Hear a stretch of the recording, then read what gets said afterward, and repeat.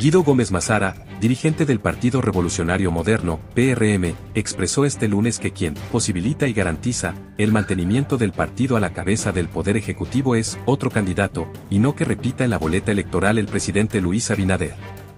Quien garantiza y posibilita la permanencia del partido en el poder es otro candidato porque la gente del PRM tiene mucha razón por la cual sentirse insatisfecho, manifestó Mazara.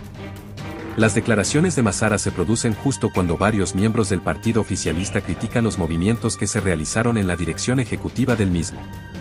Se recuerda que el dirigente político tenía intenciones de competir por la presidencia del PRM y utilizó como principal arma de campaña el descontento de las bases partidarias con temas internos, incluyendo la falta de nombramiento de los compañeros en el tren gubernamental pero al final no logró oficializar su candidatura y la presidencia del partido oficialista fue ganada, nuevamente, por el ministro administrativo de la presidencia, José Ignacio Paliza.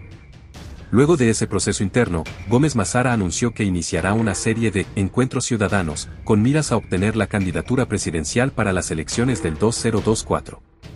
Hasta el momento, aunque Abinader no se ha referido al tema de manera oficial, varios dirigentes asumen que el mandatario podría estar posicionándose para un segundo periodo consecutivo, luego de que el PRM eliminara, durante una convención celebrada en el mes pasado, de sus estatutos el artículo de la no reelección consecutiva.